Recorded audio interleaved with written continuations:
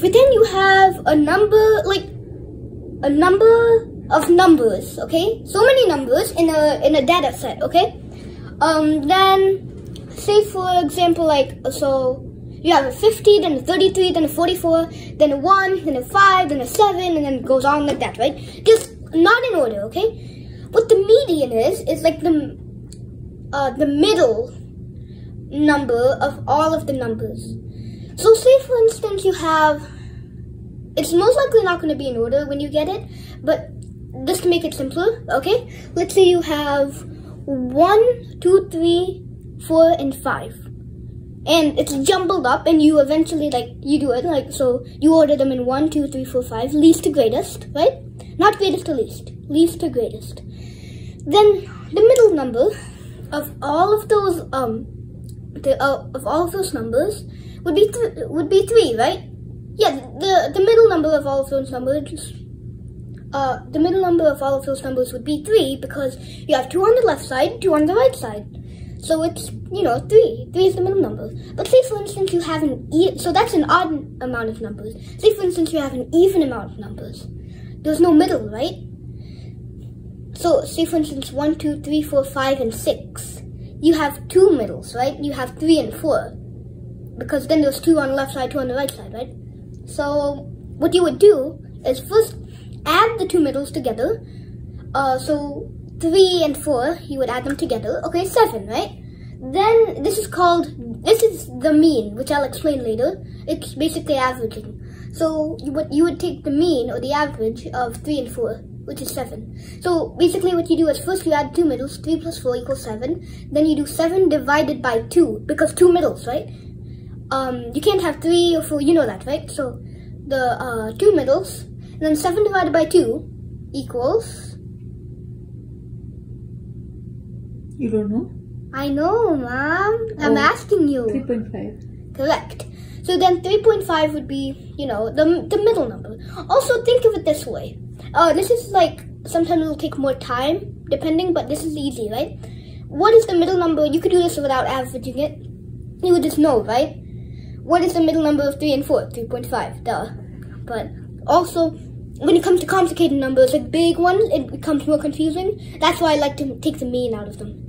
But if it's a simple ones, I do this. So, yeah, it depends. Okay. So now I will, actually, we were supposed to discuss the mean first, but forget that's fine, okay? So let's do the mean now. The mean in um, a number of, like in a, in a data set, right, is, so, um, the average of all the numbers. So what you would do is first, say for instance, I, once again I'm going to use 1, 2, 3, 4, and 5, and they're out of order, right? First you want to order them from least to greatest. And remember, never Ever? Never, ever. Ever, ever. Never, ever. Ever again. Do greatest to least. It becomes more confusing, okay? I mean, you can, but it's more confusing. So, least to greatest. Then what you would do is, first, add up all the numbers, add them up. So, 1, 2, 3, 4, and 5, right? It doesn't depend, uh, it doesn't matter if it's an odd or even number, okay? Just add them together. So 1 plus 2 plus 3 equals 6. And then plus 4 equals 10, plus 5 equals 15. Then what you would do is divide them by the number of numbers there. You get it? So the, you would uh, sum them up equals 15, right?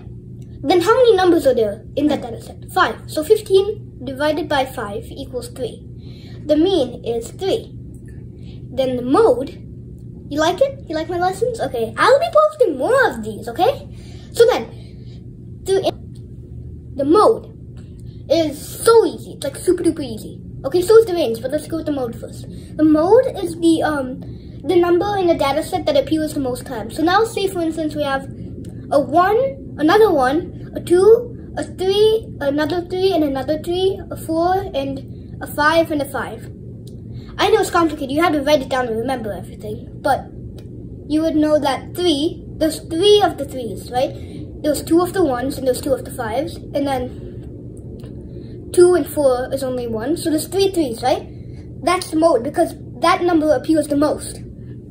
Get it? And then let's say, yeah, range. Range is the next one. Yes. Box and whisker plots depend all on this, every single thing. I think the thing it depends least on is the mode, because the mode doesn't really matter in a box whisker plot, but it's always best to know it, right? Okay, let's do the range now.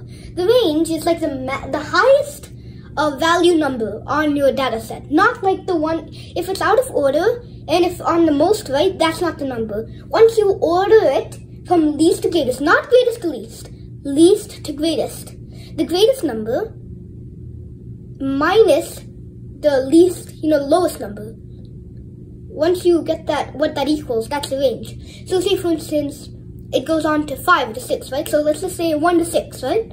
I would do, because 6 is the greatest number, 1 is lowest or the least. 6 minus 1 equals 5. 5 is the range. You can also tell because it goes on for 5 numbers, right? That's its range. So that's all for today's lesson. And I will be seeing you on lesson 2, season, on episode 2, season 1 of uh, Math with Rehan. And yes, this will be posted on my YouTube channel. And bye. I am still working on, you know, um, gaming on my YouTube channel. So also please subscribe and like my videos, please. And uh, there's one rule you need to know. Feel free to ask me any questions. And who knows, maybe season 5 I'll be teaching you calculus if I get to refresh on first. I'm just, you know, learning all the stuff. I don't mean to brag. Okay, whatever. So I need to see you guys. Like, I'll see you guys in the next episode. Because I need to go. So, bye. Bye-bye.